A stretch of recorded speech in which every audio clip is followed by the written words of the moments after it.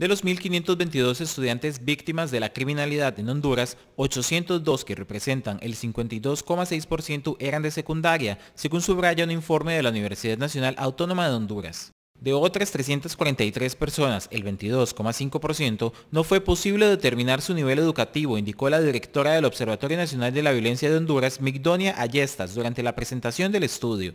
55% de las muertes violentas año con año y en los últimos cinco años son jóvenes menores de 30 años, o sea, niños, niñas y jóvenes. los datos que tiene el Observatorio de la Violencia eh, en los primeros cuatro meses evidencia eh, cuatro meses que eh, ha habido una disminución de 13.5% en los, en los homicidios. De los estudiantes fallecidos, 226 cursaban el nivel superior de universidad y 151 de educación primaria.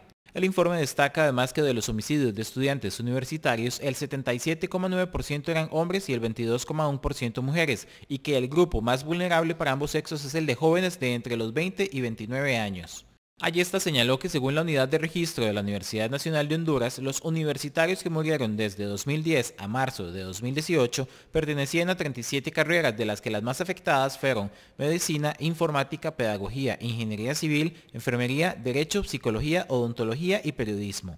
El estudio subraya que la niñez y la juventud son los principales activos de la sociedad hondureña y que en este país ser joven es el principal factor de riesgo para ser víctima de la violencia, flagelo que desde 2010 a marzo de 2018 dejó 26.714 muertes violentas. Hace seis años Honduras registraba cerca de 90 homicidios por cada 100.000 habitantes, cifra que según fuentes oficiales a 2017 se ha reducido a 42,8.